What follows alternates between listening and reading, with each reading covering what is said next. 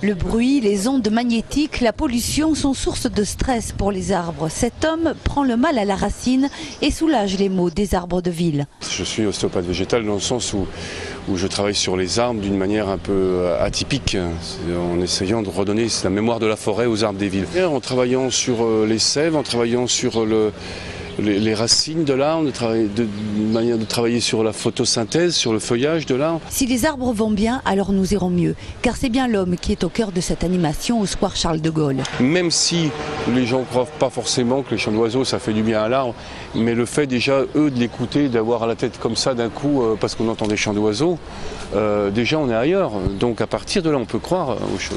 Cette intervention qui s'inscrit dans les bicyclades en partenariat avec Arto s'observe et s'écoute tous les jours jusqu'à samedi midi.